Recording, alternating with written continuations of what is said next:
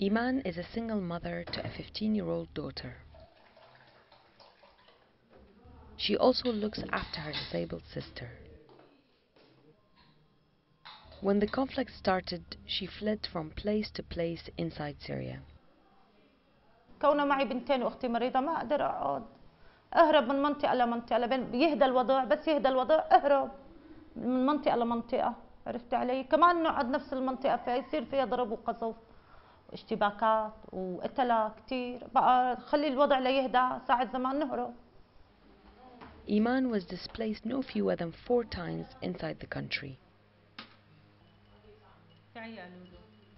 When her life savings dried up, Iman faced a stark choice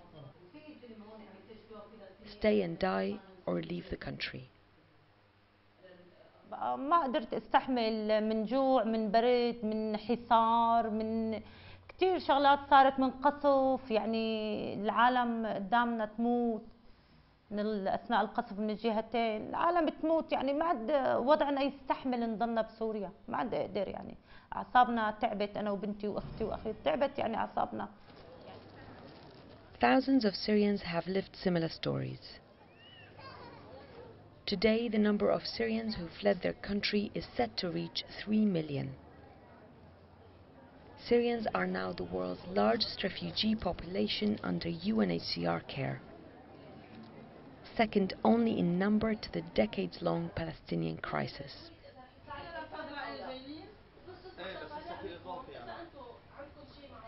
The Syria operation is now the largest in UNHCR's 64 year history.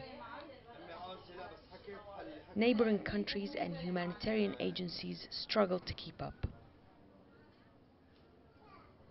We are doing the best we can. The programs are ongoing, uh, and we will continue to advocate for more support to neighboring countries, especially Lebanon, because there is a true need for financial support and burden sharing with a country that small accommodating this big a number of refugees.